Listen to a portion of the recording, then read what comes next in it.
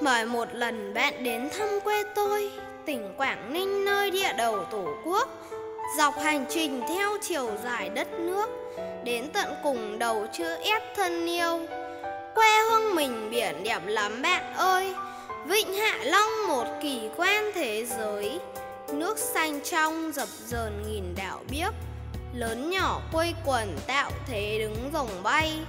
Xin kính thưa các quý vị đại biểu, Thưa các thầy cô giáo cùng toàn thể các bạn học sinh thân mến Quảng Ninh quê ta thật là giàu đẹp. Đã có biết bao nhiêu lời ca, tiếng hát cất lên ca ngợi vùng vàng đen này. Hôm nay đến với cuộc thi hùng biện một tác phẩm tiêu biểu về Quảng Ninh Em Trần Hải Lâm, học sinh lớp 4 Na 3, trường tiểu học Hồ Tùng Mậu Xin được phép hùng biện tác phẩm. Bất khuất của tác giả Lê Phương. Đầu năm 1960, nhà văn Lê Phương lúc đó vẫn còn là nhà văn cơ hữu của nhà xuất bản Lao động. Ông được cử đi viết về quá trình hoạt động của các đồng chí trong phong trào công nhân mỏ từ năm 1930. Chuyến đi ấy mở ra cho ông cơ hội tiếp cận với hầu hết các vùng mỏ than Đông Bắc của Tổ quốc. Đến năm 1962, ông quay lại vùng mỏ một lần nữa để tìm kiếm nguyên mẫu cho cuốn tiểu thuyết và hình thành cốt truyện.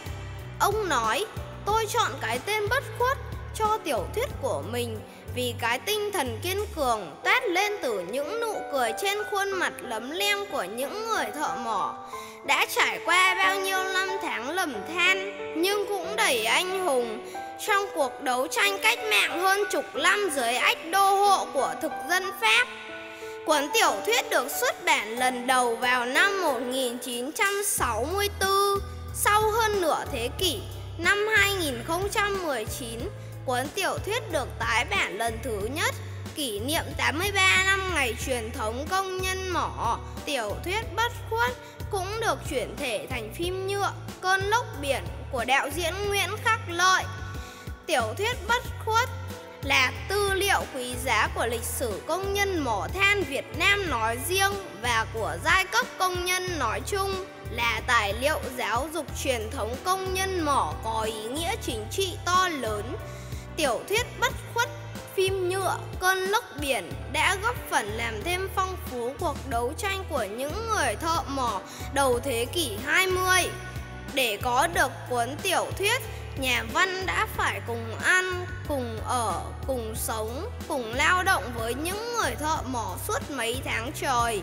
Đây cũng là cuốn tiểu thuyết duy nhất viết về cuộc đình công của những người thợ mỏ với chủ pháp đỉnh điểm là cuộc đấu tranh ngày 12 tháng 11 năm 1936 đòi dân sinh, dân chủ, cải thiện đời sống của hơn 30 vạn công nhân vùng mỏ than Đông Bắc. Phần đầu cuốn tiểu thuyết giới thiệu toàn cảnh vùng mỏ than Đông Bắc tháng 11 năm 1936. Sau cách mạng Xô Viết, Nghệ Tĩnh, Pháp khủng bố trắng phong trào cách mạng, cơ sở đảng vùng than bị phá hoại. Bọn chủ Pháp đã bốn lần giảm lương của những người thợ mỏ, cuộc sống của những người thợ mỏ. Người dân vùng than lâm vào bước đường cùng những người thợ mỏ bị bóc lột đến tận xương tủy không biết kêu ai. Gia đình của những người thợ mỏ bị đày đọa không biết sống chết lúc nào.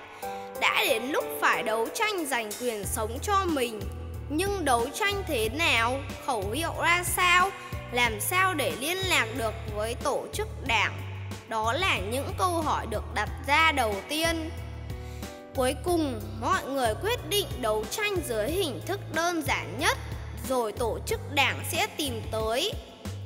Cuộc đấu tranh đầu tiên của vùng mỏ Cẩm Phả giành thắng lợi. Thành ủy Đảng Hải Phòng đã cử người liên lạc với anh Tuệ, một cán bộ đảng vừa thoát ra khỏi nhà tù Côn Đảo đang bị địch giam lỏng tại địa phương. Anh Tuệ bắt mối với bác Nhỡ cũng là một cán bộ đảng còn sót lại sau cuộc khủng bố trắng của Pháp. Cũng từ đó, phong trào cách mạng ở vùng than lớn dần lên. Từng trang, từng trang của cuốn tiểu thuyết mô tả cuộc đấu tranh dũng cảm quên mình của những người thợ mỏ mô tả những con người đánh thức lòng yêu nước của nhân dân vùng then chi tiết trong hai cuộc đấu tranh lớn ở hai vùng mỏ Cẩm Phả và Hồng Gai. Từ khi mới xuất bản cuốn tiểu thuyết đã nhận được sự hưởng ứng của đông đảo cán bộ, công nhân mỏ. Và ngày hôm nay khi phát biểu tại buổi giới thiệu cuốn sách ngày 20 tháng 6 năm 2019, ông Lê Thanh Xuân, Chủ tịch Công đoàn Than khoáng sản, lại một lần nữa khẳng định tiểu thuyết bất khuất là tài liệu quý giá của công nhân mỏ than Việt Nam. Bạn đọc hôm nay có thể tìm thấy một cảm xúc sống động về một thời kỳ đấu tranh vì độc lập của đất nước, vì tự do của dân tộc, của những người thợ mỏ vùng mỏ than Đông Bắc. Phần trình bày hùng biện của em đến đây là kết thúc. Em xin cảm ơn các quý vị đại biểu, các thầy cô giáo cùng toàn thể các bạn học sinh đã lắng nghe em.